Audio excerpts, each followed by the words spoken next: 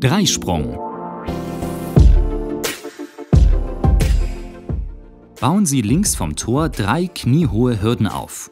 Rechts neben dem Tor errichten Sie eine Anspielstation. An beiden Stationen warten maximal fünf Spieler. Im Tor bauen Sie Zieltore mit Hütchen auf. Der erste Spieler springt beidbeinig mit jeweils einem Zwischensprung über die Hürden. Dies führt er zweimal durch, das heißt nach seinem ersten Durchgang sprintet er schnell zurück und startet erneut mit dieser Aufgabe. Nach einem kurzen Antritt zum Wendehütchen bekommt er einen Ball flach zugespielt, nimmt diesen an und schließt mit einem Torschuss auf eines der Zieltore ab. Danach tauschen beide Spieler ihre Aufgaben.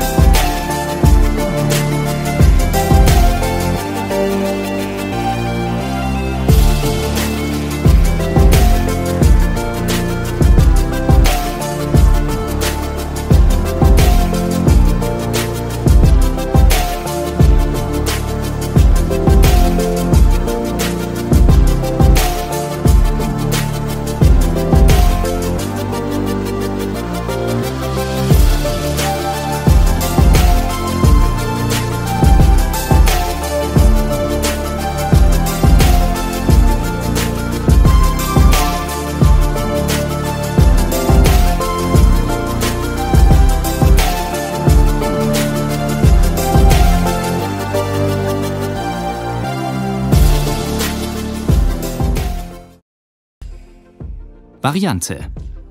Die Spieler springen jetzt zweimal direkt über die Hürden, also ohne Zwischensprung. Nach dem kurzen Antritt wird der Ball kurz angenommen und bevor der Spieler schießt, führt er noch den Trick Ziehen Fußwechsel durch.